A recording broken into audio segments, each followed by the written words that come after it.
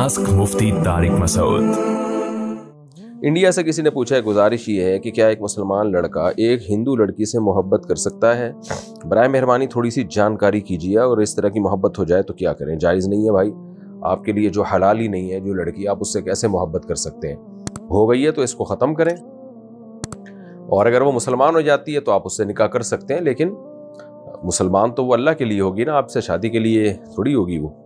तो इसलिए ये जायज़ नहीं है हराम है, नाजायज़ है मुगीर साहब लाहौर से कहते हैं, जिस लड़की से निकाह का इरादा हो, क्या इस लड़की को देख सकते हैं? जी देख सकते हैं।